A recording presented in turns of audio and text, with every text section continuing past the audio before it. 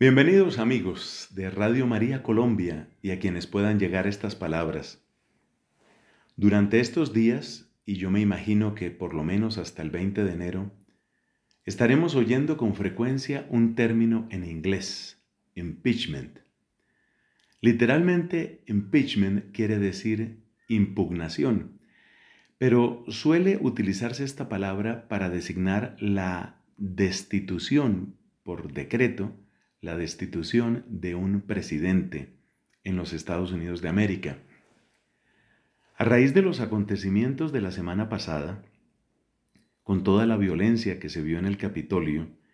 con la invasión em, al Congreso, tanto Senado como Cámara de Representantes en ese país,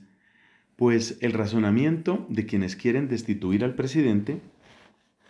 es más o menos el siguiente. Donald Trump, siendo presidente de los Estados Unidos de América, ha llamado a la violencia contra el Congreso y por consiguiente ha obrado directamente en contra de la Constitución, en contra de los valores de la democracia y por consiguiente ha causado un daño muy grande y sigue siendo una amenaza de considerable proporción. Por consiguiente, no importa cuántos días le queden en el oficio, que ya sabemos que son pues bastante menos de dos semanas,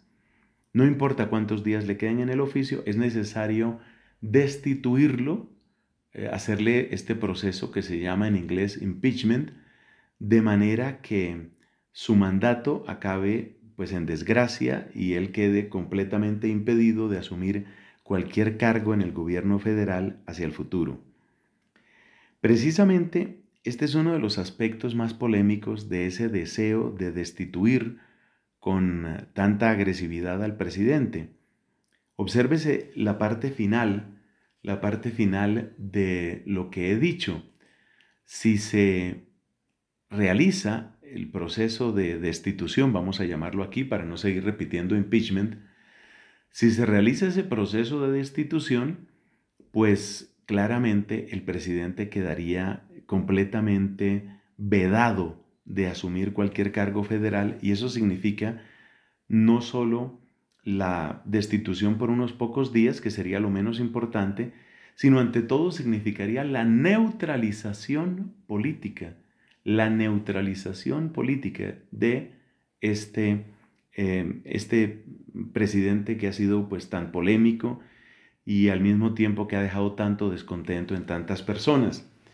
Entonces, la impresión que muchos tienen es que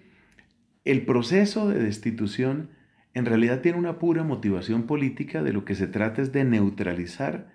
a un adversario, de lo que se trata es de impedir a toda costa que su mensaje, que su voz pueda propagarse, que sus ideas puedan propagarse. El argumento que se presenta indudablemente es fuerte, alguien podría decir es válido, porque el argumento que se presenta es hay una incitación a la violencia. Si esto se une al hecho de que también la, ha sucedido una muerte, llamémoslo así, una muerte en redes sociales, en la que han entrado eh, Google, Apple, em, Reddit, Facebook y por consiguiente Instagram, esa especie de, conjura para silenciar completamente, para, para estrangular completamente esa voz, indudablemente tiene la misma motivación política que hemos mencionado antes. Yo quiero ser claro, de ninguna manera estoy de acuerdo con la invitación a la violencia, ni directa ni indirecta. Lo que sucedió en el Capitolio de los Estados Unidos la semana pasada es un pésimo ejemplo, es un terrible precedente, es una vergüenza mundial en un país que indudablemente tiene una gran influencia en los asuntos de muchos otros países. Es decir, yo no estoy quitando la importancia a la incitación a la violencia, no le estoy quitando importancia a lo que sucedió y me duelen particularmente las cinco personas que se sepa que han perdido la vida a raíz de esos acontecimientos pero lo que quiero es que estemos despiertos. Detrás de este tipo de iniciativas, claramente lo que hay es una estrategia y una venganza política y eso hay que tenerlo claro como ciudadanos que somos y como personas responsables. Estuvo con ustedes Fray Nelson Medina.